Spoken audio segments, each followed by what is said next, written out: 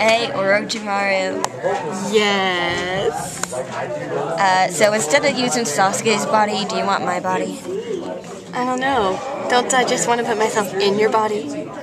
Orochimaru.